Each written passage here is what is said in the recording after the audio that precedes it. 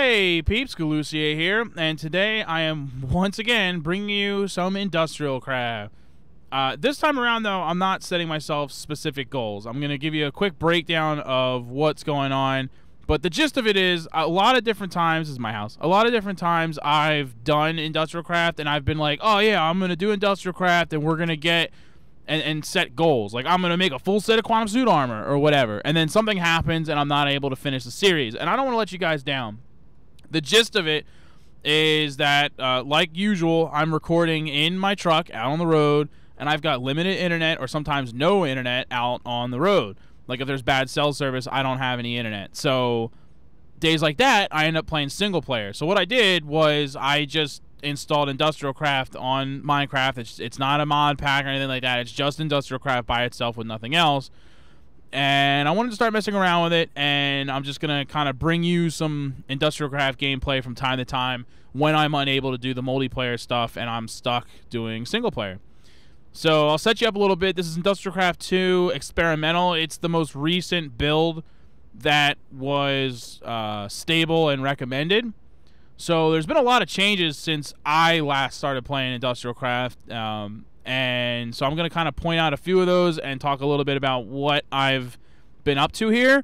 And I'm just basically catching you up to everything for the first episode that I do. And then any industrial craft to follow will be more like a let's play where it's just me having fun and going through it. So uh, I, I went with a treehouse, obviously. And the reason for that, besides the fact that I spawned in a jungle and it's a huge jungle, is that it dawned on me that wind power is like one of the best power sources in industrial craft and the higher it is the better it is within reason. You don't want it too tall because then uh, the the they can explode during a thunderstorm. But you want it to be pretty high up there because it's going to get more power that way. So i was like well if i make my house really high then the cables and whatnot don't have to be nearly as long and uh, that seems like it would be a pretty efficient way to power a building so that's my goal, but I don't have them yet. As you can see, well, not really because I'm not outside, but if you look at the thumbnail, you can see because it's just a picture of this and there's no no wind turbines. But yeah, so I'm way up here, and uh, that's my mine down there. It's where I've been doing my digging, and I've got an endless water source for no reason, and I've got this random plank because it's my fast way to get out of the tree. I made like a pool down there for me to jump into. I don't have a quick way up yet, but I'm gonna work on that.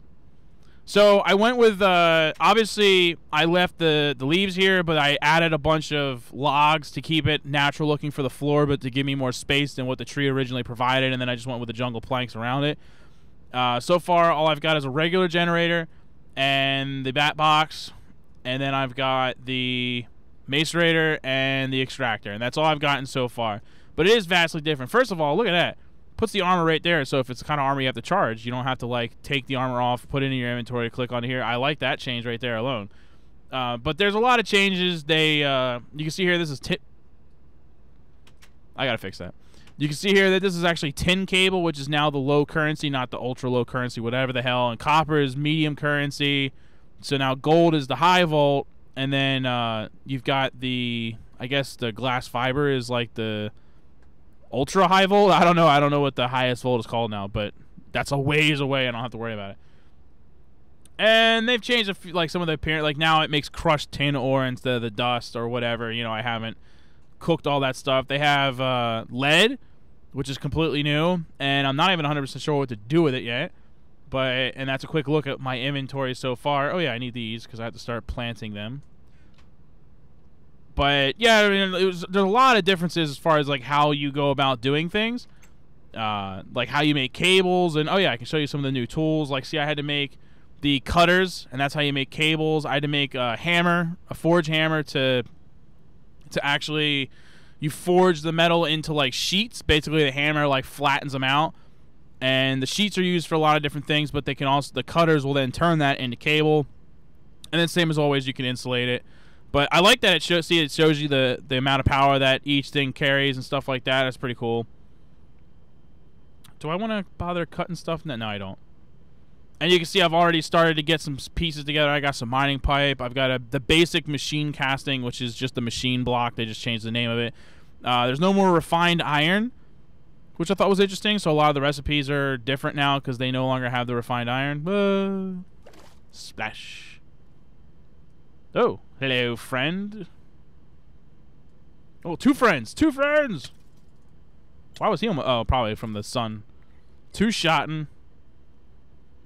Oh, I got hungry, huh? So I cleared a lot. all of this was jungle and obviously covered in leaves and whatnot. So I cleared all of that out. Let's get my steak handy. There's an arrow in my face and in my hand. No, that's my gut. Ugh. I had to travel a great distance to find some rubber trees. I just there were just no rubber trees in the area, just none. It was brutal. But I finally found some and came away with some saplings here. So hopefully I can get some growth. Click. Oh, I did just find a bone, actually. Hey! Pachow! Pachow! Alright. Do I have... No, I don't. I didn't even bring a tab with me because I wasn't planning on picking up a bone. Tell me that there's no thing on this entire... tree. oh, yeah, way on the top. Well, lottie freaking da. Is that another one way up there? Wow, like way up there. I can't even reach it. This is like the worst rubber tree ever. That's the worst.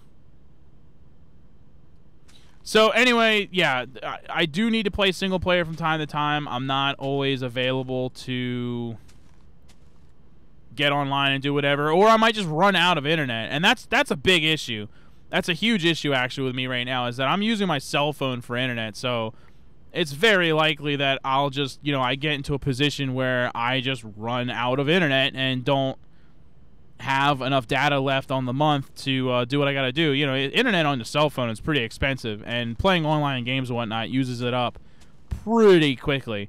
So I just, you know, I may not always be available to bring it, but I will try to as much as possible. I've got a lot of plans for multiplayer stuff, including the Civcraft, if we can ever get that done that server has been a headache. Once it's set up, it, you know, then we just got to maintain it. But setting it up has been a headache. The plugins for Civcraft are so freaking broken that it's really giving us a lot of difficulties.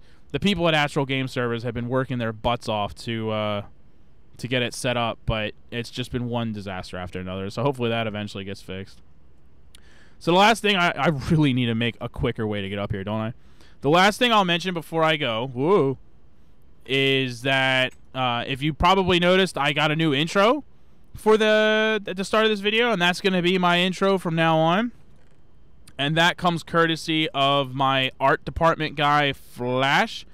He uh, he hooked it up. Did not ask him for that. He just threw it at me and was like, "Hey, if you like it, great. If you don't, don't worry about it." But I, I really digged on it, and I uh, you know I, I helped critique it, and we made some minor changes to it. and I'm really happy with the end result. So and it matched. Uh, he slightly uh, he made some minor changes to the banner for the channel, and then that's what the intro is based on. So now they both match. So you can go check out the new banner as well. So good job to Flash, and I had to give him the shout out for uh, for setting that up so that you guys knew where the the newness was coming from. But so that's that's it for today. Like I said, I just wanted to intro you to the fact that I was doing this. But uh, a big thing that I do want to ask though is what you would like to see me get into with industrial craft. Uh, like I said, there's a million different changes. The wiki page, like the default wiki page, isn't always accurate. You also have to go to the FTB Industrial Craft Experimental wiki page to get some additional information for some of the changes that were made, because not everything is listed on the normal Industrial Craft uh, wiki page. So, you know, whatever you'd like to see me try to get into or get involved with on here, and I will make every effort to uh, make an episode about that. And if it's your suggestion, then of course I'll give you a shout out for suggesting that to me. So, comment below. Let me know what you'd like to see with some industrial craft or whatever else, and I'll just keep plugging away and trying to make videos as often as possible. Thanks for watching, everybody, and I will see you next time. Laters.